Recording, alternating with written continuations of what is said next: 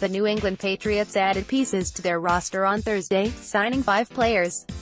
Defensive tackle Mike Pennel signed a two-year deal, his agent confirmed.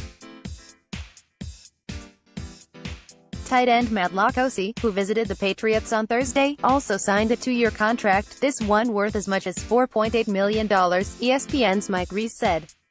Wide receivers Bruce Ellington and Maurice Harris also are joining the team, according to multiple outlets. Ellington's deal is for one year, and no terms were reported or announced for either receiver. Safety Terrence Brooks, also a special teams standout, it is moving to New England from the New York Jets on a two-year deal, ESPN's Adam Schefter reported.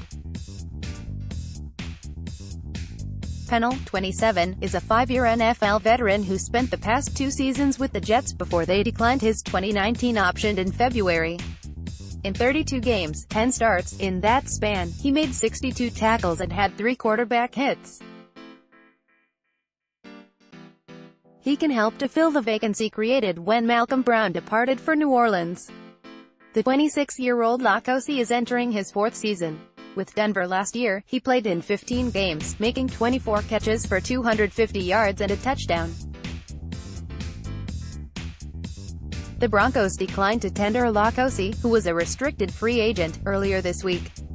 Ellington split time last season between the Houston Texans and Detroit Lions. In seven games, three starts, the 27-year-old had 31 receptions for 224 yards and a touchdown. Harris, 26, played for the Washington Redskins for three seasons before they declined his restricted free agent tender this week. In that time, he appeared in 28 games, 7 starts, catching 40 passes for 432 yards and a touchdown. He also filled in as a punt returner in 2018. Brooks, 27, has played for the Baltimore Ravens, Philadelphia Eagles and the Jets during his five-year career.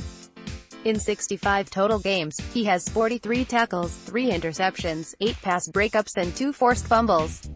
Field Level Media